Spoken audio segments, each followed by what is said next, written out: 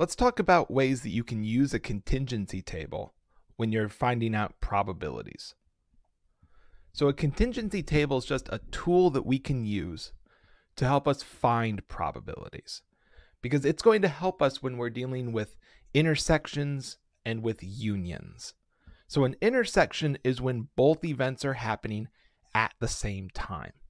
So, for example, that's the probability that it's raining and that it's Tuesday. So this can also be called joint probability. And we'll write it out like this with the probability of A and B. So that little upside down U is our AND sign. A union is when either event is happening or they're happening together. So, for example, it's the probability that it's raining or that it's Tuesday right? It doesn't have to rain on Tuesday. Both events don't have to happen together. It's the probability of either event happening. And we write it out like this with the probability of A or B. So, or is just the regular U. So let's take a look at this contingency table. We have classes. We have freshmen, sophomore, juniors, and seniors. And then we have a couple different majors. We have marketing majors and management majors.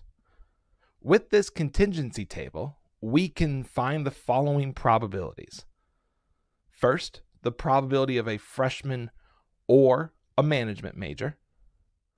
Then the probability of a junior and marketing major. And then just the probability of a management major. So let's first talk about the or freshman or management. It's always helpful to then highlight the pieces that we care about. And that's these here the freshman row and the management column.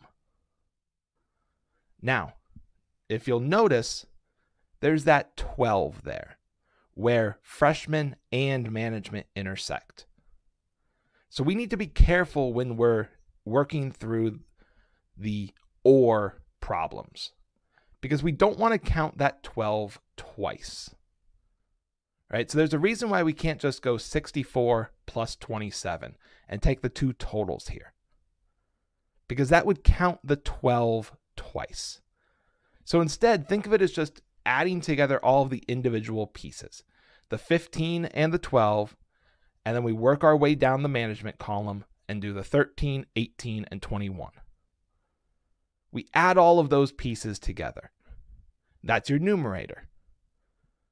And we divide it by the grand total. The grand total is 123 students. So 79 out of 123 is 0.64. So there's about a 64% chance that the student is either a freshman or a management major. Now we're working with the and, with the intersection. Junior and marketing. So once again, we look at the two variables that we care about the junior row, the marketing column. But this is the intersection. This is where it's both a junior and a marketing major. So it's just that 10. It's just the 10 students that are both juniors and marketing majors. So that becomes our numerator. And we once again divide it by our grand total of 123.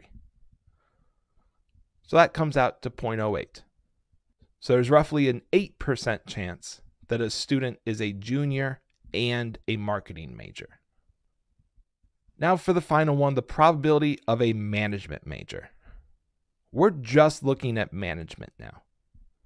We don't have any other types of variables. So we take the total number of management students and divide it by 123 again. So that comes out to 0.52.